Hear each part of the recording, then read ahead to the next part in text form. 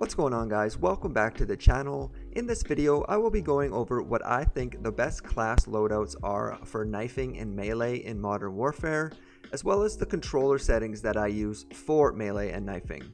Before we get started, if this video helps you out at all, please leave it a like, subscribe to the channel, and if you want to come hang out and play, I stream on Twitch every Monday, Wednesday, Friday, and Sunday. So if you want to come hang out and play, please do. Links to my Xbox gamertag, Activision gamertag, and Twitch channel are below. Alright, now we'll get into the weapon loadouts. Over here to weapons, edit loadouts, and this is my primary knifing class. So what I use for the primary, I use crossbow. Some guys use riot shield, but I really want to get away from using it. Uh, it is a an actual it is an actual melee weapon, so to speak, but I find it kind of cheap sometimes. So I like to stick to the crossbow. I don't use the crossbow all that much, but I do want to get the obsidian for it one of these days. So yeah, that's the primary. Secondary obviously is any sort of knife or axe if you have the axe. These are the knives I have right now. Obviously the axe there and just a few knives at the moment. Because you have to buy them in this game, which really, really sucks. Alright, so primary weapon, secondary weapon, and now the perks, which are the most important, I think. So, Scavenger for perk 1 is pretty much all you're going to want to do. Resupplies ammo from dead players. Scavenger packs provide throwing knives, which is what you want. Now, Perk number two, I use Ghost, so undetectable by UAVs, radar drones, and heartbeat sensors. So you're hidden, you know, they pop a UAV and you're hidden. You can still run around undetected. Uh, some guys will use Restock, which re recharges your equipment over 25 seconds. Throwing knives can recharge one extra knife, so that's kind of nice. And for perk number three, I use Amped. Go faster weapon swap and rocket launcher reload speed, which doesn't really apply. Uh, does not affect swapping to pistols and uh, combat knives, most equipment is used faster. That's the most important part. Some people don't see a difference, but I do uh, in the throwing knives, so most equipment is used faster. I think the throwing knives are a lot faster.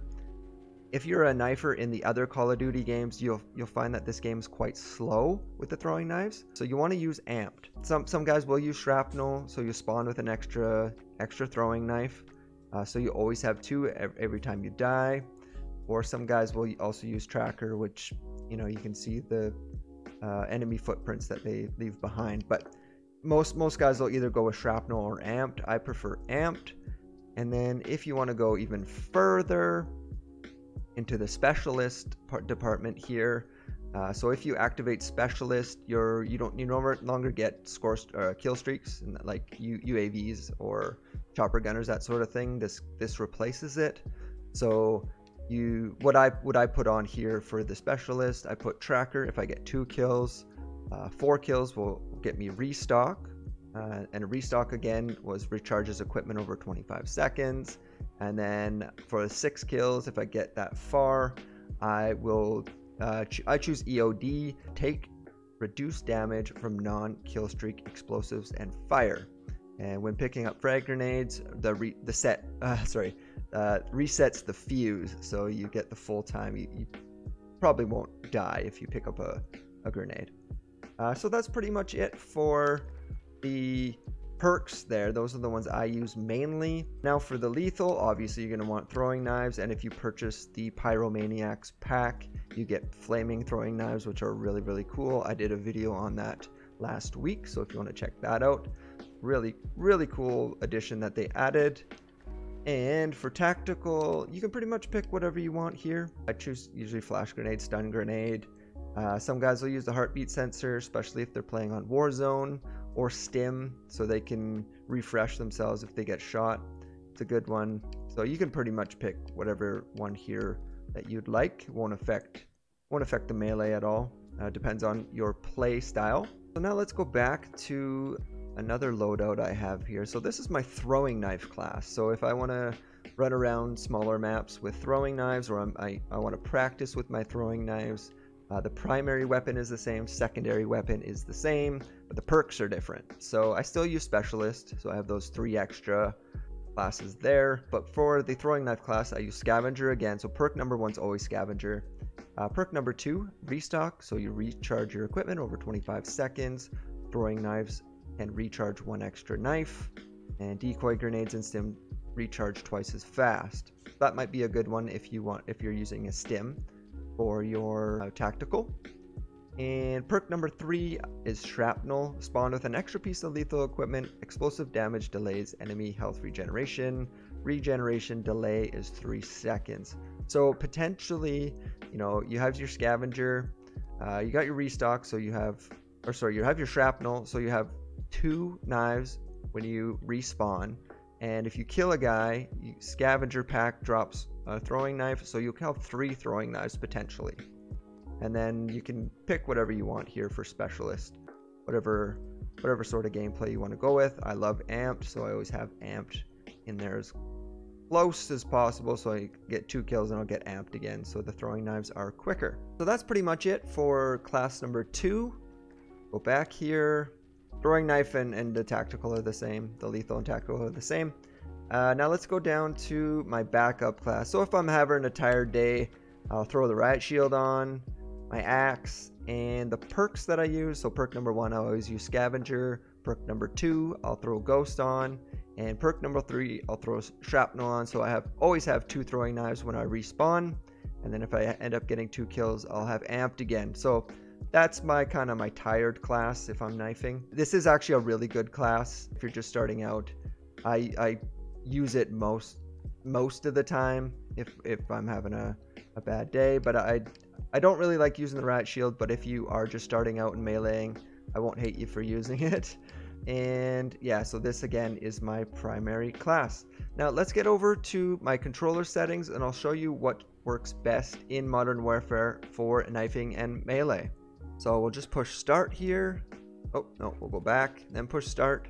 It'll come up with the option settings. So in the controller settings, you have your button layout preset. So I didn't know this up until a little while ago, and my buddy uh, Zip Chaos, he's an he's an awesome streamer as well. So if you want to check him out, he also streams on Twitch. Zip Chaos, he showed me about this, and it works awesome, especially for knifing. So what it basically does is you see there B changes from prone or crouch, prone, and slide to melee only and then right stick when you push it down. This is on Xbox, by the way. Uh, probably won't be much different for PS4. Uh, so if you push down on the right stick, the default settings is melee, uh, but the tactical is crone, crone, crouch, prone, and slide. So you never have to take your fingers off of the sticks, which works awesome. It's it's an amazing thing. Uh, another thing though, you it's, it's hard to get used to. It took me uh, 10 to 20 games to get used to. Uh, it might might take you a little bit less, uh, but that's how long it took me. Another thing is is when you're in tactical, the actual melee is changed to left trigger. So it's either B or left trigger. Uh, the left trigger works way better. It doesn't say that here though, does it? Right trigger, left trigger, aim down sight. Yeah, so melee is actually changed. I don't know why it doesn't say that here, but if you're using a knife anyway, uh, left trigger is changed to melee. Now that we have our controller changed to tactical, there's one more thing that you're going to want to do as a melee player in multiplayer. You're not going to want to do this in Warzone, but if we go to general, I believe it's in the general section. I'm probably wrong. It's probably in the controller section.